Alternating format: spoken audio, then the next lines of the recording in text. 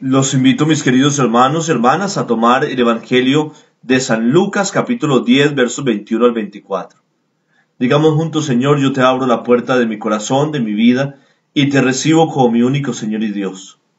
Acepto tu voluntad, sea la que sea, con tal de que ella se cumpla en mí. Te entrego el gobierno de mi vida, de mi casa, de mis asuntos, ahora y por siempre. Amén. Vemos a Jesús en este texto orando, lleno de alegría por el Espíritu Santo, y habla con el Padre, y en esa oración nos revela qué es lo que Él quiere en el reino, quiénes acceden al reino.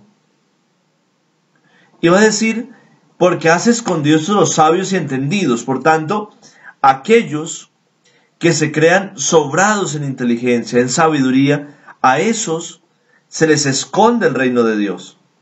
A esos que se creen sabios y entendidos y por tanto desprecian a los demás. ¿A quién se le revela el reino de Dios?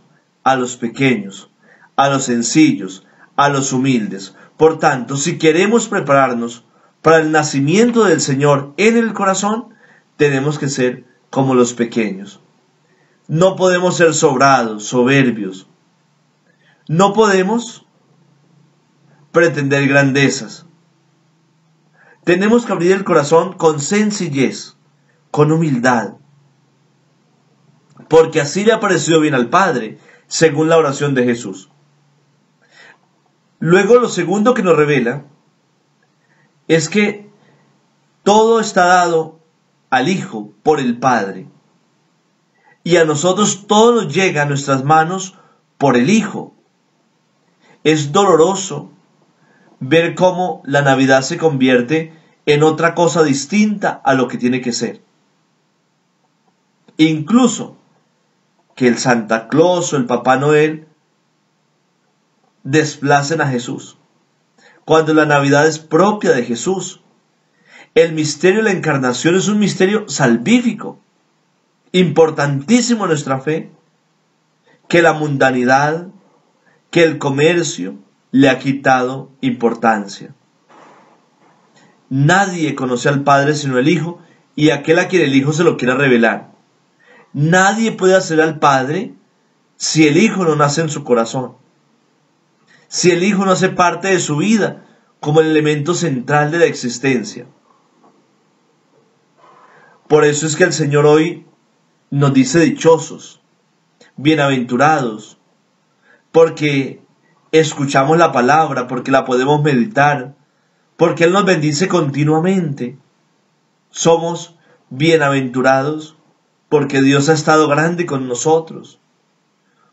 Somos bienaventurados porque lo que muchos han querido ver, nosotros lo disfrutamos. Lo que los profetas anunciaron y para ellos fue una promesa, para nosotros es una realidad. Y es más realidad si le permitimos a Dios entrar en el corazón y transformarlo. Dichosos nosotros, si escuchamos esta palabra y nos comenzamos a preparar internamente, espiritualmente, limpiando el corazón. Yo decía en una homilía ayer es necesario pintar la casa, arreglarla para la Navidad. Pero esa casa de aquí del corazón, que tenemos que echarle pintura blanca, pintura buena, y esa pintura blanca y buena se consigue mediante una buena confesión, mediante una preparación asidua en la oración.